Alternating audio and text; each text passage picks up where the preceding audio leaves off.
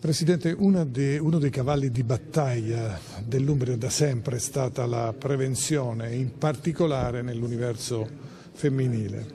Io immagino che la Regione investirà moltissimo anche in questo suo no, mandato, vero?